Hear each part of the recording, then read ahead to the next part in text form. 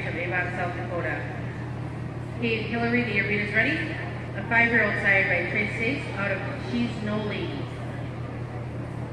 Stacy Schultz be getting ready, and then we'll drag.